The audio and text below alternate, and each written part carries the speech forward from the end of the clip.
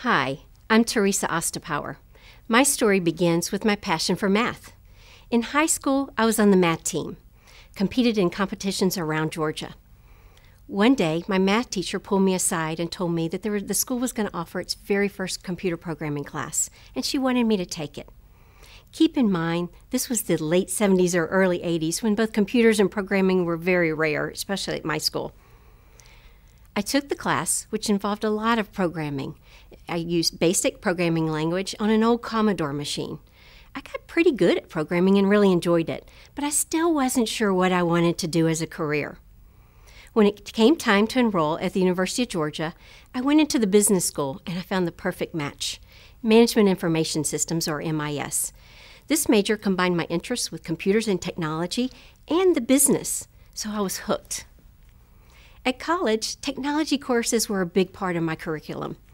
And what I learned there has proven to be very important for my career here at AT&T.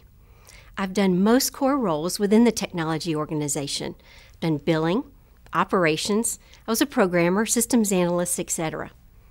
In the last five or 10 years, I've had positions that aligned with each of the business units.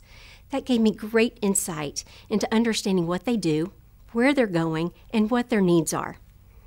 In return, our teams figured out how to develop and design strategy and new capabilities that would enable the business to meet its goals.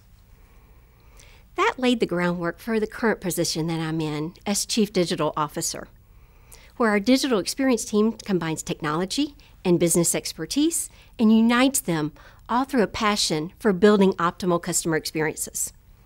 More than 60 million AT&T subscribers use a smartphone or a tablet and our websites consistently average more than 150 unique visitors or nearly 2 billion page views per month.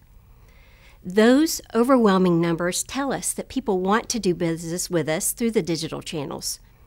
This new type of customer craves a very personalized, ultra convenient, and effortless experiences. So that's what we drive toward each day. AT&T's vision to move to an all IP company over the next six years is rooted in technology. Every part of our business, our employees, our customers, and our network is evolving, and there's going to be a huge demand for technology jobs. Our digital experience team is no different, and we're looking for top talent that's going to drive this technology evolution. It's been thrilling to see so many huge changes happen in a relatively short period of time. I can only imagine what lies ahead. So I encourage you to find your passion and the principles that work for you. Thank you.